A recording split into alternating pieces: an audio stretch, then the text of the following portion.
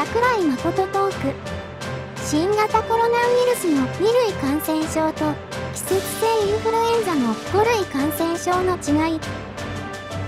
日本政府が10月11日新型コロナウイルス対策の入国規制を緩和し韓国を含む68カ国地域を対象にビザなしでの入国を再開した。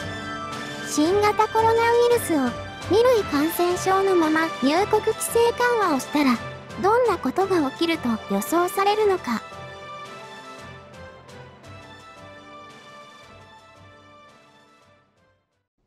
いや、もうですからね、こう、外国人がですね、ぞろぞろぞろぞろ日本にやってくる。で、ここでもまた一つ過ちを犯してるんですけれども、この外国人をね、も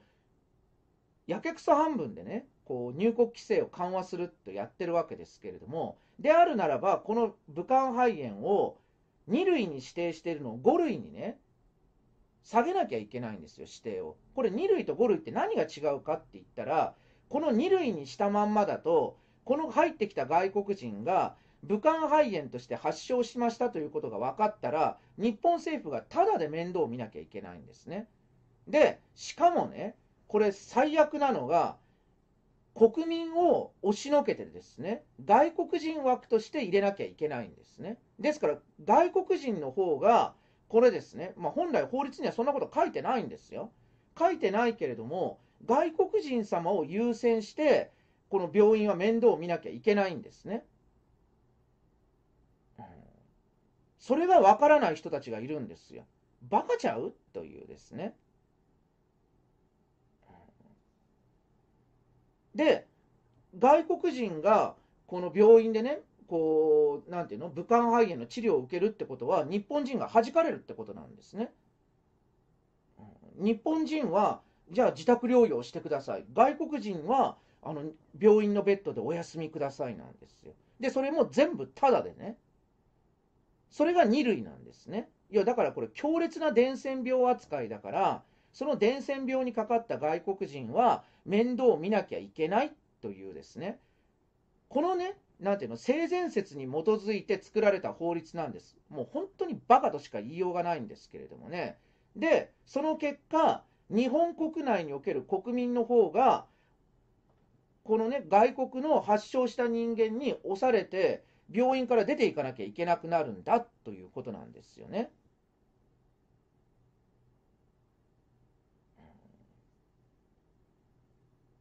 いや、気違いですよ。普通に考えてね、これ気違いとしか言いようがないんですよ。だから2類を5類に下げろって言ってるんです。5類っていうのは普通の風邪と同じ扱いですね。で、この5類に下げれば、あんたあの外国人がたとえ日本で発症しても、あのうちの政府知りませんよで済むんですよね。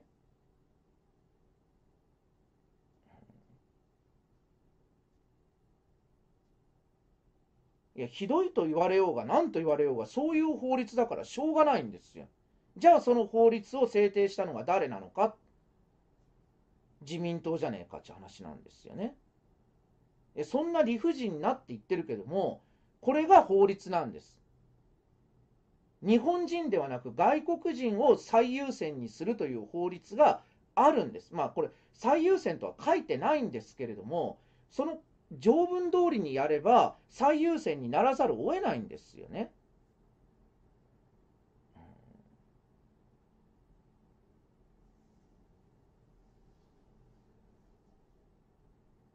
だから今の説明で皆さんもね、この武漢肺炎、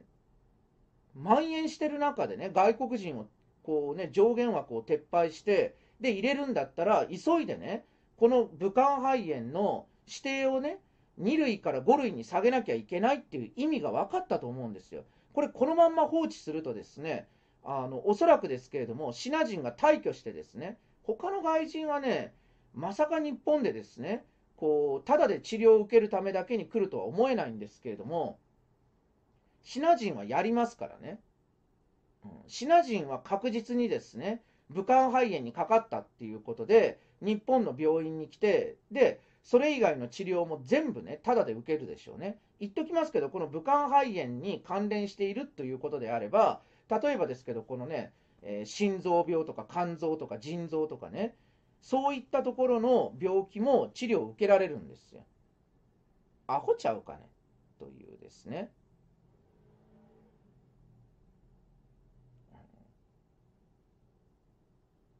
日本人のためのね、日本の病院なんです。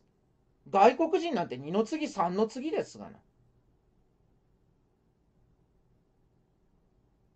日本人が最優先で守られなければならないはずなのに、日本人をね、あんた、あの、みんな、あの、なんていうの？自宅療養にして、病院から押しのけといて、で、空いたベッドに外国人を入れる。どうすんのよ、これ、というですね。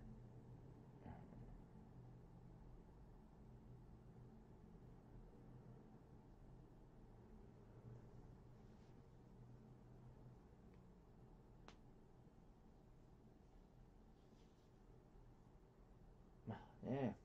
あのもう自民党はダメだって書いてますけどね、もうそんなものは言われなくたって分かってるわけですよ。それでもね、それでも自民党を支持するのが今の日本人なんです。もうだからバカがバカを選んでる。こんな国は滅びて当然でしょ自分のね、自国民を大切にできない国家なんですよ。外国人様を最優先に考える国家なんです。当然日本という国は滅びるだけです。ただね、滅びるということが分かっていたとしても、分かっていたとしてもですね、それでもね、叫ばずにはいられないんですよ。我々だって日本人なんですから。自分のね、生まれた祖国が、自分のね、この愛する祖国が、外国の侵略によってどんどんどんどん侵食されていって、ボロボロにされてね、で崩れていく。それを黙って見ていることができないんです。だからさっきも言ったけれども、結果なんぞ求めちゃいないんですよ。求めたところで無意味だっていうことも分かってますのでね。